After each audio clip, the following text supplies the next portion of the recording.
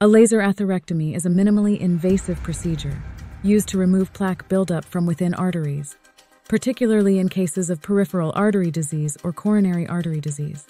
During this procedure, a special catheter equipped with a laser is inserted into the affected artery to vaporize or break up the plaque, restoring blood flow to the area. Before the procedure, the patient undergoes a thorough evaluation, which may include imaging studies such as angiography or ultrasound to assess the extent and location of arterial blockages. The patient is typically given local anesthesia at the insertion site, usually in the groin or wrist, to numb the area.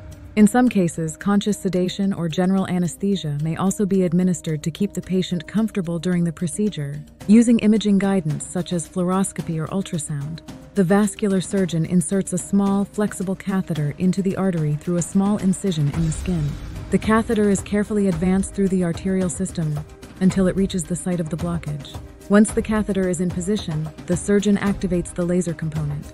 The laser emits high-energy light that targets and vaporizes the plaque buildup within the artery. As the plaque is vaporized, it breaks up into smaller particles that can be safely removed from the body or absorbed by the surrounding tissue.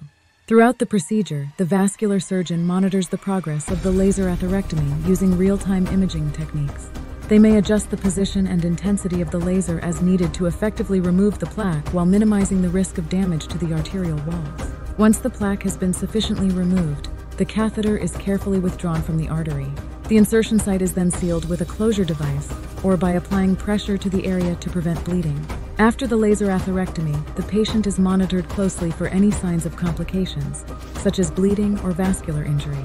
They may be given medications to prevent blood clots or manage pain, and instructions for post-procedure care and follow-up appointments are provided. Laser atherectomy is considered a safe and effective treatment option for patients with arterial blockages caused by plaque buildup. It offers several advantages over traditional surgical techniques, including reduced risk of complications, shorter recovery times, and minimal scarring. Give us a call at 480 668 5000.